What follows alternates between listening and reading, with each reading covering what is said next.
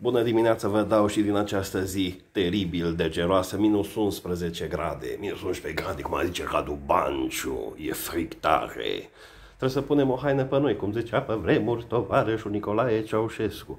Dar nu ne lăsăm, bem o cafea fierbinte și continuăm. Până una alta vă las să vă adunați aici pe canal. Patinați ușor, patinați ușor, nu-i nicio copcă, e gheață, e frumos. Patinați și veniți pe canal, așa, până beau o, o, o ce? O, sau o ceașcă de cafea, ori mai bună, ori mai rea. Când aveți vreme, știți voi să donați pe buymeacoffee.com slash nicubendea, că nu mai avem cafele, nu mai avem, nimic nu mai avem. Ieri a fost uh, lunea albastră, azi e marțea neagră. Trei ceasuri rele, nu contează, avem aici 10 minute bune. Care e diferența între mine și Tibi Ușeriu? Tibi Ușeriu face maratonul arctic la minus 40 de grade. Eu la minus 10 grade stau în fața ușii ca un ușieru, ca un ușieru și filmez de aici, filmez pentru voi. Din solidaritate, domne, din solidaritate. Ci că unul din doi români ar vrea, ar vrea să-și schimbe jobul în acest an. Unul din doi români ar vrea, eu nu-mi schimb. Cât e de fric, cât e de cald, aici vorbesc. Vă vorbesc de aici, din solidaritate cu bucureșteni. Stau și eu, îmi ies aburi, nu contează. E bine până îți ies aburi, m-am îmbrăcat gros din solidaritate cu bucureștenii, cu miile de bucureșteni care nu au nici apă caldă, care nu au nici căldură, avarie iarăși la rețeaua de termoficare. Și a zis primarul general al capitalei Nicu Șocdan, o să remediem problema, acum am calculat ce trebuie făcut, dar să nu uităm că în unele țări ale lumii, la 19 grade se poate sta în casă, să trăiești tu, că de murit încă nu. La 19 grade în casă faci cuie vere, faci cuie. Dar nu nimic, stăm aici, tragem aer în piept și mergem mai departe platforma STS de vaccinare stricată. Fiți atenți, rețeaua de termoficare stricată, platforma de vaccinare stricată. Mai merge ceva în România? Mai merge ceva în România? Mai merge. Gura lui Șoșoacă, atâta mai merge în România. Gura lui Șoșoacă.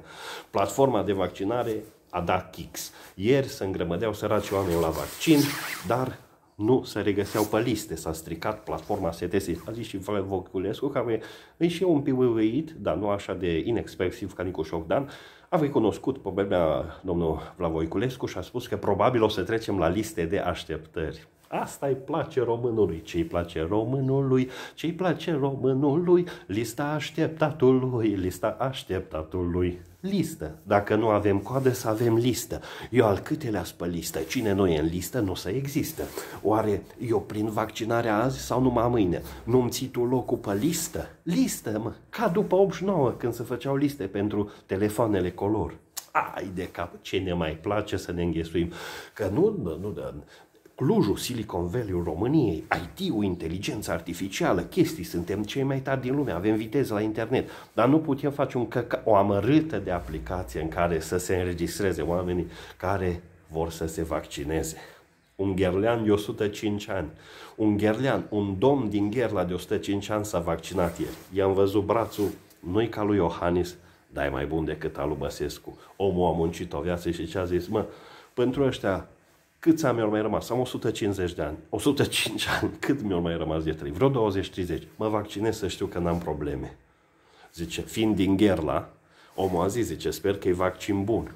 Să nu dăm gherle cu el. O cafea bună se poate primi aici în ceașca goală, am și spălat-o, da? Primim o cafea bună pe site-ul buymeacoffee.com slash Vă mulțumesc anticipat, știu că o să dați, să vă mai intre niște bănuți și o să dați, că vorba aia Știți ce găsiți aici pe canal.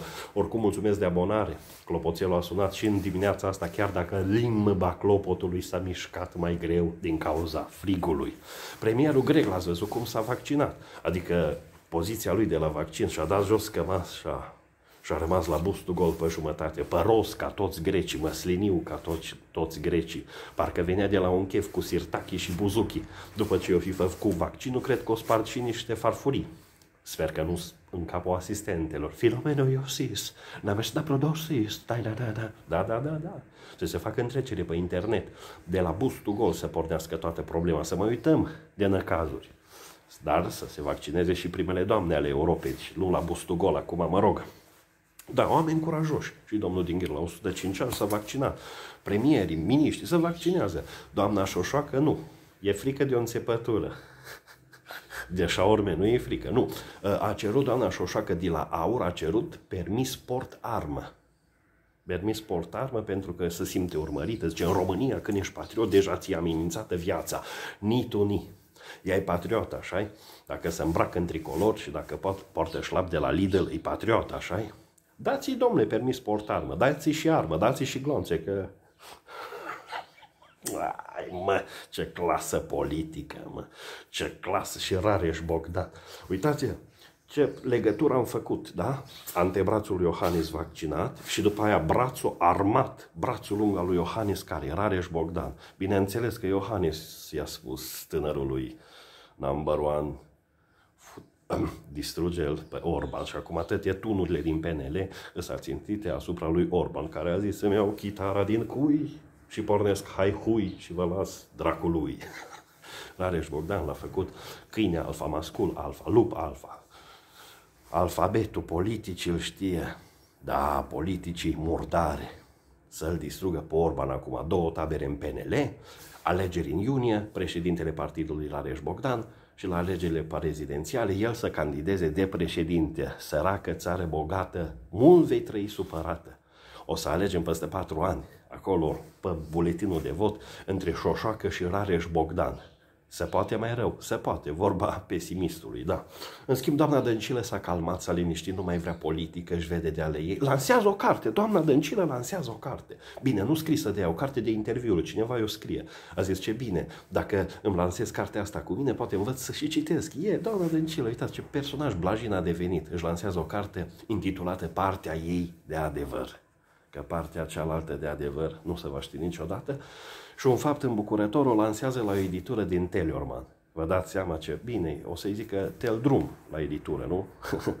ce bine că se lansează în Teleorman cartea doamnei Dăncilă, baiul mare că nu sunt librării. Da, până atunci o să se facă și librării. Frumos, frumos. Mai sunt și oameni cu caracter, domne, în viața publică, de exemplu, Ivan Pațaichin, Pații, cum îi zice Florin Piersic Pațaichin, era în ceva consiliu consultativ uh, din partea USR Plus pentru alegerea guvernatorului Deltei. Că și Delta Dunării trebuie să aibă un guvernator, adică un hoț.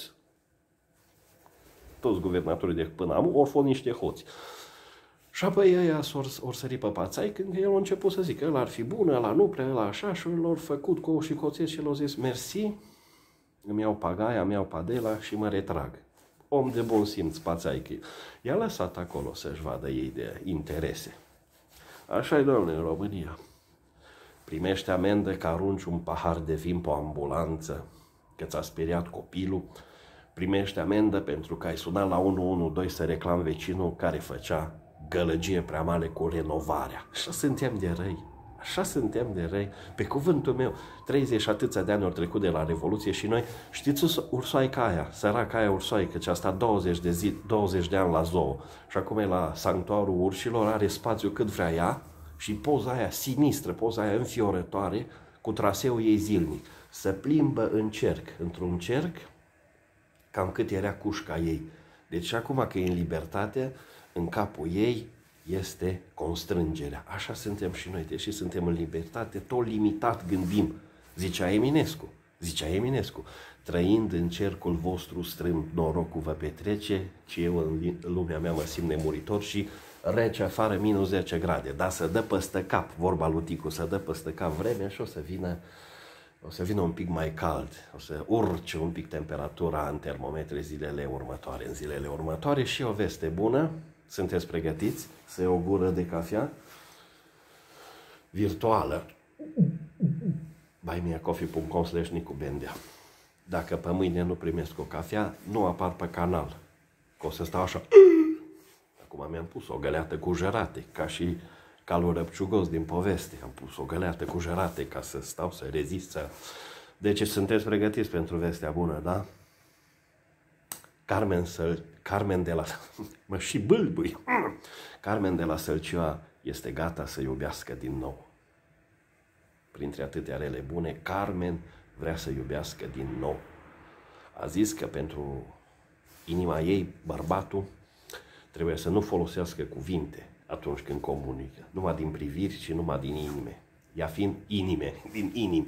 Ea fiind din Sălcioa, poate o să-și găsească un băiat cum se cade pe la Vidolm sau Mușca, Lupșa, dar nu prea aproape de Lupșa, că acolo e o mănăstire.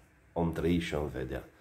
Numai iubire să știe că iubirea pe toate le rabdă și pe toate le face. Mulțumesc de urmărire, dați share acestui video să ajungă la cât mai multă lume ca să se mai încălzească atmosfera. Vă aștept la comentarii, la secțiunea comentarii, să continuăm povestea de aici. Pe mâine!